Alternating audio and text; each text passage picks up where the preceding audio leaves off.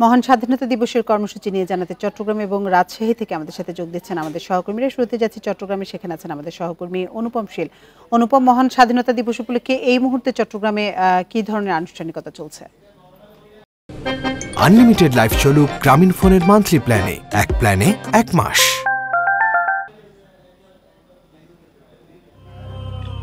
আমরা এখন আছি চট্টগ্রামে এমিয়াজিজ স্টেডিয়ামে এবং এখানে শিশু কিশোর সমাবেশ এবং যে কুচকাওয়াজ সেটি অনুষ্ঠিত হচ্ছে এই মুহূর্তে। এখানে আসলে চট্টগ্রামের বাংলাদেশ মহিলা সমিতি বালিকা উচ্চ বিদ্যালয়ের উদ্যোগে বা তাদের পরিবেশনায় যে ডিসপ্লে সেটি প্রদর্শিত হচ্ছে।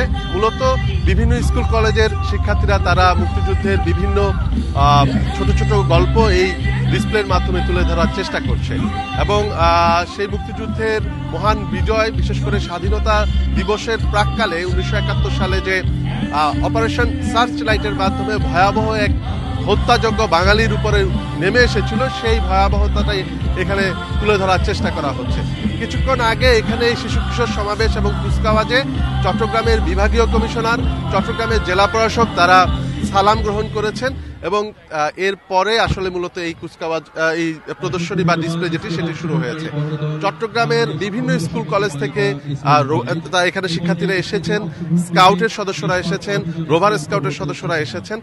এর আগে আমরা আজকে সকালে সূর্যোদয়ের সময় মূলত চট্টগ্রামে যে নতুন স্মৃতিসৌধ হয়েছে কাঠটলি আহ, এলাকায় সেখানে মূলত শহীদদের প্রতি শ্রদ্ধা জ্ঞাপন করে ফুল দিয়ে শ্রদ্ধা জ্ঞাপন করে আজকের দিনের যে কর্মসূচি সেটি শুরু হয়েছে। এবং এ আজকে সারাদিন ব্যাপী আসলে চট্টগ্রামের বিভিন্ন স্থানে এরকম নানা ধরনের আয়োজন রয়েছে, বিশেষ করে নানা গাম্ভীর ভাব গাম্ভীর্যের মধ্য দিয়ে এই স্বাধীনতা দিবস বা জাতীয় দিবস এটিকে উদযাপনের উদযাপন করা হচ্ছে চট্টগ্রামে। আমরা মূলত গতকাল রাত থেকেও দেখেছি, পঁচিশে মার্চের কাল রাত্রি স্মরণেও অনুষ্ঠান ছিল। আজকে এই, এখন এমিয়াজিজ স্টেডিয়ামে অনুষ্ঠান হচ্ছে। এর বাইরে বিভিন্ন সামাজিক সাংস্কৃতিক সংগঠন, তারাও মূলত এখানে বিভিন্ন ধরনের অনুষ্ঠান আয়োজন করেছে। আমরা যদি আজকের এই অনুষ্ঠানকে ঘিরে আরেকটু যদি দেখাতে চাই যে এখন ইতিমধ্যে কিন্তু আবারও ডিসপ্লেতে আর এখানে নিষ্পাপ অটিজম স্কুল তারা একটু বিশেষ ক্ষমতা সম্পন্ন শিক্ষার্থীরা এখানে মূলত এখন ডিসপ্লে প্রদর্শন করবেন। আমরা একটু দেখি যে পুরো স্টেডিয়ামের এই আনুষ্ঠানিকতা কতক্ষণ চলবে এবং এখানে যারা শিক্ষার্থীরা এসেছেন তারা তো আমাদের নতুন প্রজন্ম আহ, তারা আসলে আজকের এই মহান স্বাধীনতা দিবস উপলক্ষে তাদের প্রত্যাশা কি? এখানে যে অনুষ্ঠানটি আরও ঘন্টাখানেক আগে শুরু হয়েছে, এটি আরও আমরা যতটুকু জানতে পেরেছি যে আরও এক ঘণ্টার মতো হয়তো চলবে। কিন্তু এখন মূলত অনুষ্ঠান আস্তে আস্তে শেষ দিকে। আর মূলত শিক্ষার্থীরা মুক্তিযুদ্ধের ইতিহাস, এই স্বাধীনতা যুদ্ধে বাংলাদেশের মুক্তিযোদ্ধাদের অবদান এবং এর বাইরে পাকিস্তানি হানাদার বাহিনী যে নির্মম হত্যাযজ্ঞ বাংলাদেশের মানুষের উপর করে চালিয়েছিল এবং বাংলাদেশের স্বাধীনতা অর্জনের ক্ষেত্রে যে এক সাগর রক্তের যে এক বড় ধরনের একটা অবদান, সেই বিষয়গুলো নিয়েই আসলে এখানে শিক্ষার্থীদের মধ্যে আলোচনা আছে। তারা এই ইতিহাসকে কেন্দ্র করে তারা জানার চেষ্টা করেছে। আপনি নিশ্চয়ই দেখতে পাচ্ছেন, এখন একেবারে বিশেষ ক্ষমতা সম্পন্ন শিক্ষার্থীরা তারাও এখানে এসেছেন এবং মুক্তিযুদ্ধের চেতনায় নিজেকে সমুন্নত করার জন্য, নিজের চেতনাকে সমুন্নত করার একটি প্রক্রিয়া এখানে এখানে যারা আয়োজক তারা মূলত আমাদেরকে এই বিষয়টি জানিয়েছেন। এবং এর মধ্য দিয়ে বাংলাদেশের আগামী প্রজন্ম তারা মুক্তিযুদ্ধের সঠিক ইতিহাসটি জানবে, মুক্তিযুদ্ধের মুক্তিযোদ্ধাদের অবদান, সে সময় রাজনৈতিক ব্যক্তিদের অবদান, সে বিষয় সম্পর্কে অবগত হবে। এটি মূলত এখানকার এই আয়োজনের প্রধান উদ্দেশ্য বলে জানিয়েছেন তারা। অনুপম, আপনি সাথে থাকুন। এবার আমরা যাব রাজশাহীতে। সেখানে আছেন আমাদের সহকর্মী মুস্তাফিজুর রহমান। মুস্তাফিজ মহান স্বাধীনতা দিবস উদযাপনে রাজশাহীতে এই মুহূর্তে কি ধরনের আনুষ্ঠানিকতা চলছে?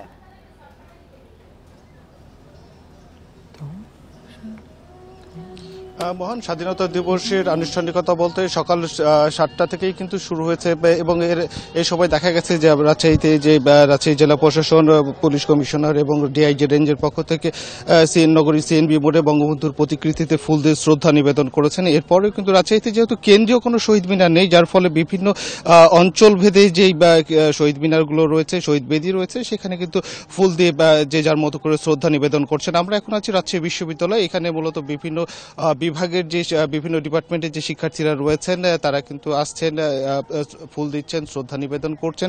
এর কিছুক্ষণ আগেই কিন্তু রাজশাহী বিশ্ববিদ্যালয়ের উপাচার্য আসছিলেন এবং তিনিও কিন্তু রাজশাহী বিশ্ববিদ্যালয়ের উপাচার্য সহ যে শিক্ষকবৃন্দ ছিলেন, তারা কিন্তু এসেছিলেন, তারা এখানে শ্রদ্ধা নিবেদন করে গেছেন। আর এইবার রাজশাহীতে আয়োজনটি একটু ছোট পরিসরে করা হয়েছে, তার কারণ হচ্ছে যেহেতু রমজান মাস যার ফলে কিছুক্ষণ আগেই কিন্তু আমরা রাজশাহী যে জেলা মুক্তিযুদ্ধ স্টেডিয়াম ছিল, সেইখানে একটি বিভিন্ন শিক্ষা প্রতিষ্ঠানের শিক্ষার্থীদের নিয়ে একটি মনোমুগ্ধকর কিন্তু ডিসপ্লে অনুষ্ঠিত হয়ে গেছে।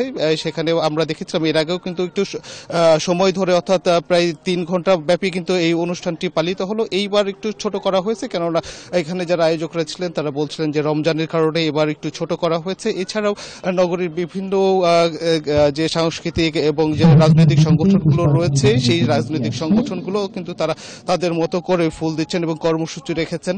এবং আমরা জেনেছি যে এখানে বিভিন্ন প্রার্থনালয় যেগুলো রয়েছে, সেখানে কিন্তু প্রার্থনার বিষয়টি বলা হয়েছে এবং বাদ আসর কিন্তু বিভিন্ন মসজিদে দুয়ার প্রসঙ্গটি বলা হয়েছে।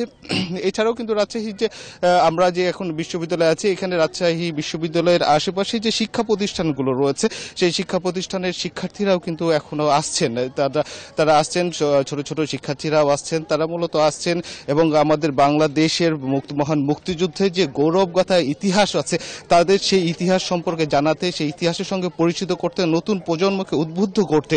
অর্থাৎ যে রক্তর বিনিময়ে অর্জিত হয়েছে দেশ, সেই দেশের গুরুত্ব, তাদের যে আত্মত্যাগ, সেই বিষয়টি কিন্তু উপলব্ধি করতে এই শিক্ষার্থীদের নিয়ে আসা হচ্ছে। এখানে যারা শিক্ষকরা রয়েছেন, তারা বলছিলেন যে আসলে নতুন প্রজন্মের মাধ্যমে, নতুন প্রজন্মের কাছে যে মহান মুক্তিযুদ্ধের যে একটি গৌরবগাথা, ইতিহাস রয়েছে, এই এই দেশটি একমাত্র দেশ যে রক্তের বিনিময়ে অর্জিত দেশ, সেই দেশের ইতিহাস জানাতেই কিন্তু নতুন প্রজন্মকে নিয়ে আসা হচ্ছে। তারা আসছে তারা তারা এখানে ফুল দিয়ে শ্রদ্ধা নিবেদন করছে। সেই সাথে কিন্তু আমাদের দেশীয় যে সংস্কৃতি রয়েছে, সেগুলোর সাথে তারা পরিচিত হচ্ছে এবং ইতিহাস সম্পর্কে তারা জানছে। এবং প্রশাসনের পক্ষ থেকে আমরা কথা বলেছিলাম, এখানে যারা বিশেষ করে রাজনৈতিক সংগঠনগুলো রয়েছে, বা এখানে মহানগর আওয়ামী লীগের পক্ষ থেকে এবং জেলা আওয়ামী লীগের পক্ষ থেকে, তারাও কিন্তু যে দলীয় কার্যালয় রয়েছে, সেইখানে তারা কিছুক্ষণ আগেই কিন্তু ফুল দিয়ে শ্রদ্ধা নিবেদন করেছেন এবং সেইখানেও কিন্তু একটি সংক্ষিপ্ত তারা সভার আয়োজন করা হয়েছে, সেখানেও তারা মতবিনিময় করছেন এবং সেই, এই ঠিক দেশের ইতিহাসগুলো তুলে ধরার চেষ্টা, তুলে ধরছেন সেখানে যারা রয়েছেন, উপস্থিত যারা রয়েছেন তাদের কাছে। এবং একইভাবে রাজশাহী বিশ্ববিদ্যালয়ে কিন্তু আমরা দেখেছি যে এখনও বিভিন্ন বিভাগে যে শিক্ষার্থীরা রয়েছেন এবং শিক্ষক যারা রয়েছেন, তাদের নিয়েও ঠিক একইভাবে দেশের ইতিহাস নিয়ে যে অর্জিত যে আমাদের মহান মুক্তিযুদ্ধের ইতিহাস নিয়ে সেখানেও কিন্তু এই বিষয়গুলো তুলে ধরা হচ্ছে এবং তাদের কাছে উত্থাপিত করা হচ্ছে। আর সর্বোপরি রাজশাহীর যে, এবার, এবারে কিন্তু যেহেতু বলেছিলাম যে রমজান মাস একটু অনুষ্ঠান প্রত্যেকটি আহ, অনুষ্ঠানই কিন্তু ছোট পরিসরে করা হয়েছে এবং এবার শুরুটাও একটু দেরিতে করা হয়েছে। অন্যবার দেখা গেছে যে এই মহান স্বাধীনতা দিবসে বা ভোর অর্থাৎ সূর্যোদয়ের সাথে সাথেই কিন্তু দেখা সাধারণ যে মানুষ শিক্ষার্থী বিভিন্ন রাজনৈতিক সামাজিক যে সংগঠনগুলো থাকে তারা কিন্তু সেই মানুষের সাধারণ মানুষের একটি ঢল নামে তারা শহীদ বিধিতে তারা চলে আসছেন কিন্তু এইবার একটু দেরি করে আসছেন এবং তারা যেহেতু রমজানের কারণে একটু সময় নিয়ে আসছেন, এসে তারা কিন্তু তারা ফুল দিচ্ছেন, তারা শ্রদ্ধা নিবেদন করছেন। এই ছিল রাজশাহীর শহীদ বেদি থেকে সর্বশেষ তথ্য। চট্টগ্রাম এবং রাজশাহী থেকে মহান স্বাধীনতা দিবস উদযাপনের সবশেষ তথ্য জানাচ্ছিলেন আমাদের সহকর্মীরা।